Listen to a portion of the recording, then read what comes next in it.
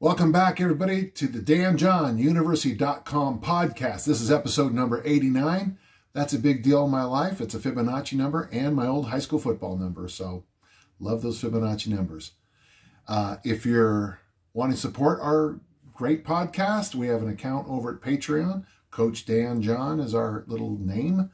Or if you want everything, go to Dan John University and you'll find everything you need there. Thank you. Let's get started.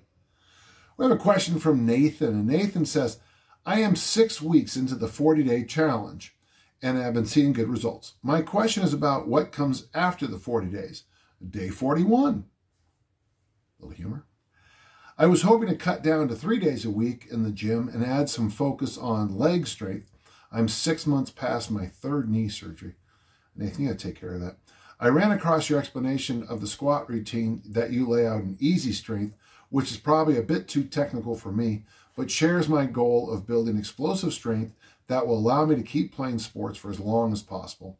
Do you have any recommendations for how to stay, uh, for how to shape my post 40 day routine, particularly reps and set ranges for squat routines? You know, Nathan, this is one of those times where it, it really, you need to tell me what you want. If you want explosive strength, you know, there's all kinds of things you can do, but with that history of knee surgeries, uh, I got to just sit back and, you know, wave my hands a little bit and say, hold on, slow down. Well, what kind of knee surgeries? Were these caused by car accidents, by sports, by DNA? I mean, whatever it is, I'd like to know a little bit more. Um, what most people do after the basically eight weeks of, of the uh, easy strength programs is they try to find something that, you know, excites them. And uh, I've gone into Olympic lifting programs after that, you know, competed. Uh, I'll slide over to you know just about any program you'll find at the university. Honestly, Nathan, probably the best thing for you to do right now is uh, go to danjohnuniversity.com and then you know plug in your equipment, plug in a few things, and then just see what comes up on the three day uh, week programs.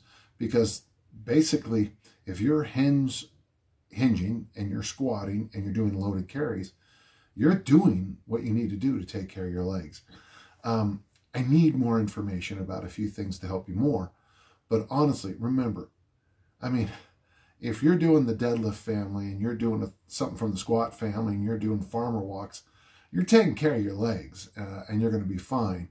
Um, yeah, I grew up in that time where squats were the answer to every question, and something else was too. But, you know, you you probably aren't going to do very well on a, a squat dominant program with your history of knee issues. That's that's my experience. I could be wrong, but I'd like you to think about that before you proceed uh, too far. Thank you.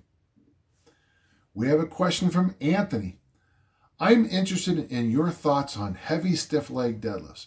Is there a time and place for training the stiff leg deadlift and Romanian deadlift in the six to ten range.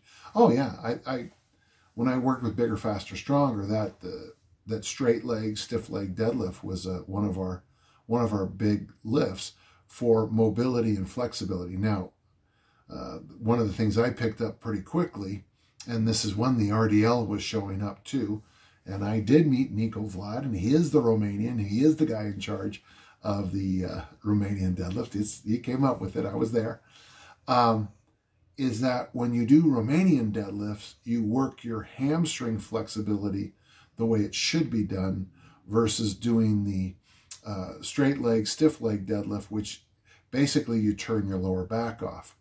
Uh, I do know that a lot of the high intensity guys like the straight leg, stiff leg deadlift uh, for lower back and uh, hypertrophy.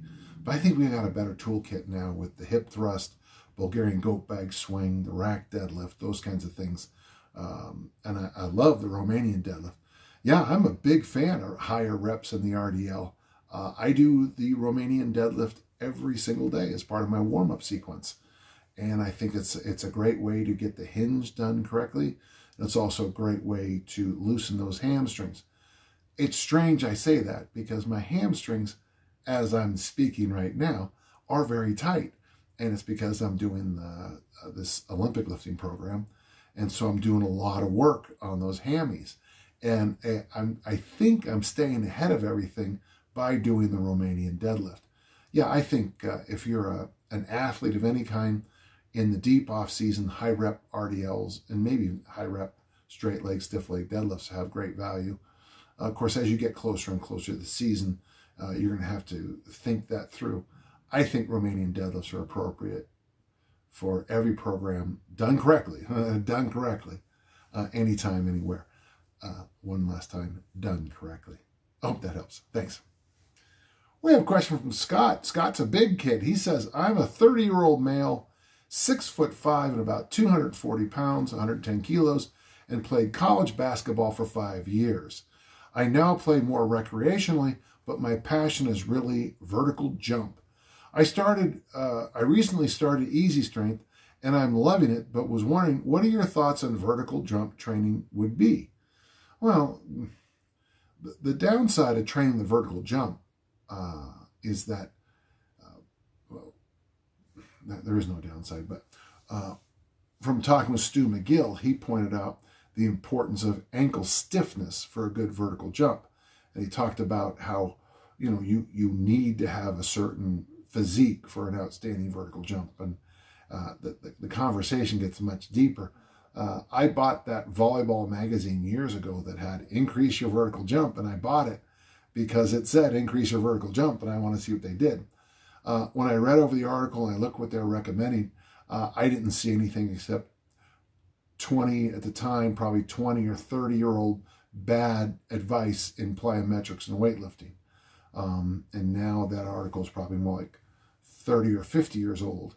Um, but this idea of doing things like plyometrics and all kinds of jumping exercise in the weight room, uh, the best jumpers in the world don't do them. The best jumpers jump. Uh, jumpers jump. You know, runners run, throwers throw. Um, for your vertical jump, uh, I'd like to know what your baseline is. I'd like to know where you are. Uh, from what I've seen, um, you know, I don't know what your body mass is, but if you're 240 and you're 3% uh, body fat, then that's one conversation. If you're 240 and you're 25% uh, body fat, that's another conversation. Uh, I think the easiest way to increase vertical jump is to lean out. Uh, certainly having, you know, you know, if, if you talk to Stu, the tight, the tight um, ankle, uh, the stiff, the stiff hamstring helps a lot too. He told me uh, those are things he's noted over and over. So you're going to find yourself in a, in, in a strange uh, world when you you try to improve your vertical jump. My best advice is first deal with your lean body mass. You know, more lean body mass, less fat, which is of course the holy grail of what I do. Uh, from there, you got to jump. You got to jump a lot. Uh, you're in a sport that emphasizes it. Uh, every time you do a layup, I would try to hang a little bit longer up there. Um, can we improve the vertical jump in the weight room? Sure. I mean, there's some exercises I think would carry over well. Rack deadlift, Romanian deadlift, the Olympic lifts, uh, anything that involves that that explosive hinge would help. Uh, if you do have that other kind of body type, the more quad kind of jumper, uh, what uh, Stu told me was the uh, more the Eastern European style, then maybe you would get a lot of squats from squats and front squats. Um, so it's going to be an experiment of one. So I would say, let's do this. First, get me a base. How, what's your vertical jump today? What's your lean body mass at? And then let's talk from there. So let me know. Let's get started. We have a question from Stephen. You mentioned on an episode with Pat Flynn that you were able to correct your duck feet issues with ankle weights. You read a lot into it, but yes. Could you explain how and why that works? I don't know how it worked. How long each day do you wear them? Is there anything else you would recommend to help with this issue? So, Stephen, you have to understand first, and, and you, you summarized a long point into a sentence. So I have uh, two titanium hips. I was born with a condition called pistol grip hips.